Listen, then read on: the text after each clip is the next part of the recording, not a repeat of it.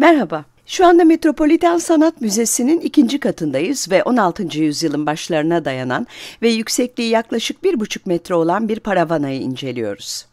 Bu Muromachi döneminden kalan paravanalara mükemmel bir örnek. Bu eserin Tosa Mitsunobu tarafından yapıldığı düşünülmekte.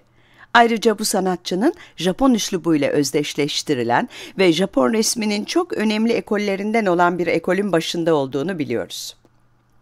Paravana'da Japon ve Çin kültürüne özgü unsurların birleştiğini görüyoruz.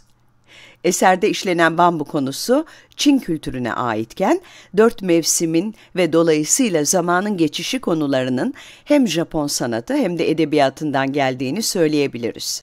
Bu geçişin sağdan sola doğru olduğunu görüyoruz. Sağ tarafta yeni yılla birlikte renga şiirlerinde olduğu gibi menekşelerin ve çoban çantası otlarının açtığını görüyoruz. Renga geleneksel Japon şiirinin önemli bir parçası. Renga şiirinin okunduğu buluşmalarda aynı zamanda tablolar da incelenirdi ve bu tablolar genellikle Mitsunobu tarafından yapılmış olurdu. Ancak yüzyıllar içinde buradaki çoban çantası ve menekşe tasvirlerinin de değiştiğini söyleyebiliriz. Eserin yapıldığı dönemde buradaki çiçeklerin canlı renklerde olduğunu tahmin ediyoruz. Yani o dönemde paravananın tamamı çok daha canlı ve parlaktı. Arka planın tamamına yayılan altın yaprak motifinin büyük bir kısmının zaman içinde solduğunu söyleyebiliriz. Ancak altın üzerine altın renk eklenerek yapılan bu motifin halen daha soluk da olsa altın renginde olduğunu görüyoruz. Buradaki bulutlar veya sis kümeleri mevsimler arası geçişi daha rahat anlamamızı sağlıyor. Menekşelerle birlikte yeni yıldan ilkbahara geçildiğini veya bir bölümden diğerine devam eden bambu filizlerinin yazı temsil ettiğini anlayabiliriz. Daha sonrasında da bambu yapraklarını saran sarmaşığı yani sonbahara geçildiğini görüyoruz. Bu motifin de ilk başlarda daha parlak renkte olduğunu tahmin ediyoruz. Buradaki beyaz rengin aslında ilk resmin altında kalan bir kısım olduğunu söyleyebiliriz. Sarmaşıkla simgelenen sonbahardan da üstü kar kaplı bambu ağaçlarının olduğu kış mevsimine geçiyoruz. Bu bölüm resmin en sonunda yer alıyor.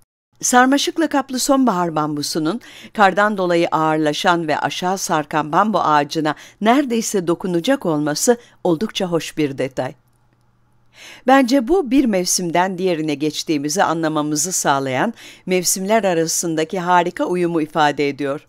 Japon resminde sıkça kullanılan mevsim değişikliği teması aynı zamanda Japon şiirinin de önemli bir parçası. Günümüzde şiirden biraz uzak yaşıyoruz. Ancak bu sanat eserinin oluşturulduğu dönemde insanların bu şiir gelenekleri konusunda oldukça bilgi sahibi olduğunu ve dolayısıyla şiirle resim arasındaki ilişkiyi anlayabilecek yeterlilikte olduklarını söylememiz mümkün.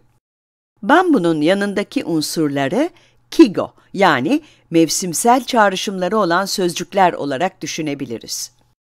Bu sözcüklerinde doğada görülen değişimle ilgili şiirler yazan şairlerin kullandığı sözlüklerde yer aldığını biliyoruz.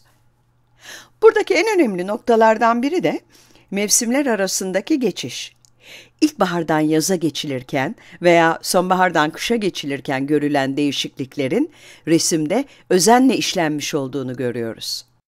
Yani yeni filizlenen bambudan olgunlaşmış bambuya geçen döngüyü kendi hayatlarımızdaki döngüsel yapıya benzetebiliriz. Bu kavramı da Shinto ve Budist geleneklerdeki edebi ögelerle ilişkilendirebiliriz. Shinto, Japonya'da ortaya çıkan bir din. Ancak Budizmin Çin'den Japonya'ya Kore aracılığıyla geldiğini söyleyebiliriz. Bu sanat eserinin şu anda ilk başta tasarlanan halinden biraz da olsa farklı sergilendiğini de söyleyebiliriz. Bakın ikinci paravanada dikiş yerleri olduğunu görmemiz mümkün. Bu da aslında resmin ilk başta dört kısma ayrıldığını gösteriyor. Ayrıca buradaki işaretlere bakarsak bu kısımlarda ilk başta hikite yani kapı kollarının olduğunu söyleyebiliriz. Yani bu dört kısım ilk başta sürgülü kapı ya da sürgülü duvar işlevi görüyordu. Ayrıca bu sürgülü kapının bir bahçeye hatta belki de bir bambu korusuna açılan bir duvara baktığı ihtimalini de göz ardı etmeyelim. Büyük bir ihtimalle bu resim bir şekilde zarar gören bir odanın parçasıydı. Belki de bu oda çıkan bir yangında yerle bir olmuştu. Bu dönemde bu resmin paravana olarak kullanılmaya başlandığını düşünüyoruz. Bu eser 16. yüzyılın başında ilk olarak resmedildiğinde o dönemde sanatçılar özellikle imparatorluk sarayı için çalışan sanatçılar. Yaptıkları resimlerin altına imza atmazlardı.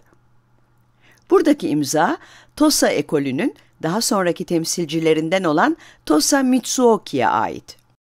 Ve bu imza sayesinde resmin Tosa'ya ait olduğunu bilebiliyoruz.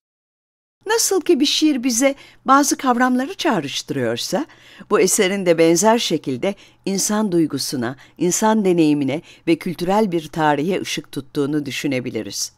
Aslında bu paravana sadece Renga geleneğine ait değil, aynı zamanda saray geleneğindeki vaka şiirini de anımsatıyor. Bu şiirler de genellikle aşk şiirleriydi. Örneğin Japonya'nın en ünlü şairlerinden olan Arivara no Narihira şu dizeleri yazmıştı. Sabahlardan bile sırılsıklam bir şekilde alçak bambu ağaçlarının arasından evimin yolunu buldum. Şimdi kollarım ne kadar da ıslak seni aradığım ama bulamadığım geceler düşünüldüğünde.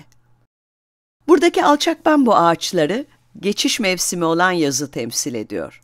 Arivara no Narihira'nın atıfta bulunduğu aşka benzer şekilde bambunun da hayatımız geçip giderken rahatlatıcı ve değişmez bir unsur olduğunu söyleyebiliriz.